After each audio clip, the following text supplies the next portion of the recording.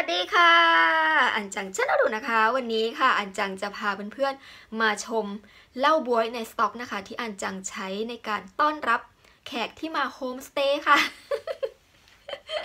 อันจังกับพี่แครอทไม่ใช่คนดื่มนะคะเพื่อนไม่ใช่คนที่ดื่มเหล้าพี่แครอทเนี่ยไม่ได้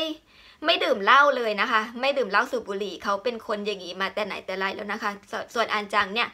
แต่ก่อนก็ดื่มบ้างนะคะ ดื่มเบียร์บ้าง ดื่มเหล้าบ้างแต่ว่า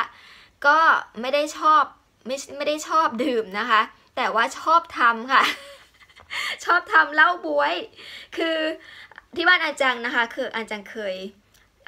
ถ่ายคลิปที่ไปเก็บบวยใช่ไหมคะ บวยที่อยู่ตรงสวนนะคะเขาออกทุกปีนะคะ แล้วก็ออกเยอะด้วย แต่ว่าปีนี้ไม่ได้ออกเยอะเนาะ แต่ว่าส่วนใหญ่เนี่ยจะออกเยอะ แล้วก็มีประมาณ 2-3 ต้นนะคะ ในสวนเนี่ย ก็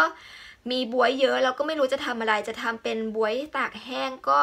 มันยุ่งยากอะเนาะมันก็ไม่ได้ยุ่งยากอะไรมากนะคะ แต่ว่าเราต้อง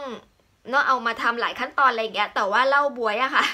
เหล้าบวยมันจะง่ายสุดนะคะเพื่อนๆแล้วก็เก็บได้นานนะคะ ยิ่งนานเนี่ยยิ่งอร่อยเขาบอกอย่างนั้นเนาะอันจังก็เลยแบบเนี่ยทำเหล้าบวยทุกปีเลย แต่ว่าไม่ได้เป็นคนดื่มนะคะ คือเอาไว้รับแขกค่ะเอาไว้รับแขกที่มาบ้านนะคะ มาพักบ้านมาค้างที่บ้านอะไรอย่างเงี้ย เนาะก็เดี๋ยววันนี้มามาดูกันนะคะว่าเหล้าบวยในสต็อกอันจังเนี่ยมีกี่โหลนะคะ ไปกันค่ะ มาดูโหลแรกค่ะ โหลแรกเนี่ยที่จริงอันจังใช้โหลขนาดเนี่ยค่ะ กี่ลิตรเอ่ยโหลนี้กี่ลิตรอันจังก็จำไม่ได้นะคะ ก็น่าจะประมาณ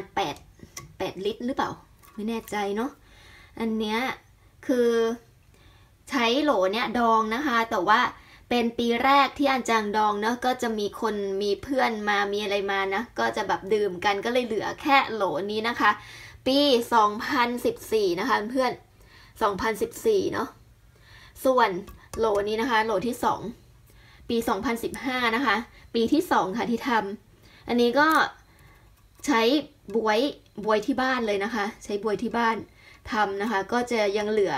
อยู่อยู่ค่อนข้างเยอะเหมือนกันเนาะส่วน ปี 2016 นะคะ อันเนี้ยอันจังจะใช้เหล้าญี่ปุ่นค่ะ ไม่ได้ใช้เหล้าขาวเนาะ อันเนี้ย2โลเนี้ยใช้เหล้าขาวก็จะออกมาใสๆใช่ไหมคะ แต่ว่าอันเนี้ยปี 2016 อันจังลองใช้เหล้าญี่ปุ่นดูนะคะ เขาก็จะออกมาขุ่นๆนิดนึงค่ะ แล้วก็รสชาติเขาจะหวานนะ หวานมากกว่าเหล้าขาวนะคะ ส่วนอันนี้ค่ะปีต่อมานะคะ ปี 2017 ค่ะ ปีเนี้ยบวยออกเยอะมากอันจังก็เลยทำสามโหลค่ะ โหลขนาดเนี้ยนะคะสามโหลแล้วก็โหลใหญ่นะคะ ใหญ่สุดเนี่ยโหลหนึ่งก็จะเป็น เนี่ยค่ะ 2017เนี่ยทำเยอะมากที่สุดเลย เนี่ยเลยจะแบบไม่ค่อยมีที่ไว้นะคะ คือทำแบบมาเยอะมาก เนี่ยพอ 2017ทำสามโหลใช่ไหมเราไม่ไม่ค่อยจะมีที่ไว้ 2018 นะคะอันจังก็เลยเลิกค่ะ เลิกแล้วก็เนี่ยทำแค่โหลเดียวเอาโหลใหญ่สุดนะคะ โหลใหญ่สุดเนี่ยขนาด 8 ลิตรอ๋อโหลใหญ่สุดอยู่ขนาด 8 ลิตร ถ้าเกิดว่าโหลขนาดนี้เนาะขนาดเนี้ยจะประมาณกี่ลิตรเอ่ย5ลิตรนะคะ อันนี้เป็นโหล5ลิตร อันนี้โหลกี่ลิตรเอ่ยอันนี้จะโหลรองลงมานะคะ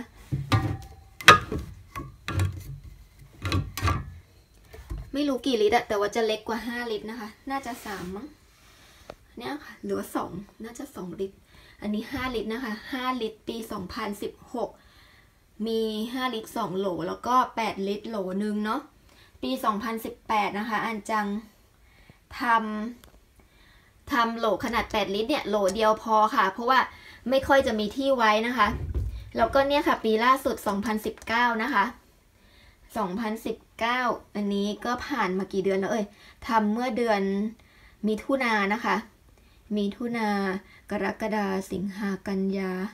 สี่เดือนแล้วค่ะ ผ่านมาสี่เดือนละ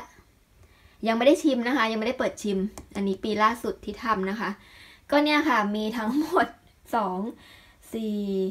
หกแปดนะคะแปดโหลนะคะเพื่อนกรุ๊ปที่มาโฮมสเตย์ที่บ้านอันจังล่าสุดเนี่ย ชิมไปหมดทุกโหลแล้วนะคะอ๋อเหลืออันนี้นะ ปี 2019 รู้สึกจะยังไม่มีใครชิมเนาะ เพราะว่าเพิ่งผ่านมา 4 เดือนนะคะ แต่ว่าปกติเนี่ยการทำเหล้าบ๊วยนะคะ ผ่านมา 3 เดือนอย่างต่ำเนี่ย3 เดือนคือทานได้ดื่มได้แล้วนะคะเหล้าบ๊วยเนาะก็เป็นเหล้าบ๊วยในสต็อกนะคะ ที่อันจังเอาไว้ต้อนรับแขกนะคะที่มาบ้าน เป็นไงกันบ้างคะเหล้าบ๊วยในสต็อกอันจังเนาะถ้าเกิดว่าใครมาโฮมสเตย์ที่บ้านอันจังนะคะ ก็จะได้ชิมค่ะ ได้ชิมกันทุกคนนะคะเพื่อนๆเอ่อวันนี้นะคะอันจังก็ลาไปก่อนนะคะบ๊ายบายเจอกันใหม่คลิปหน้าค่ะ สวัสดีค่ะ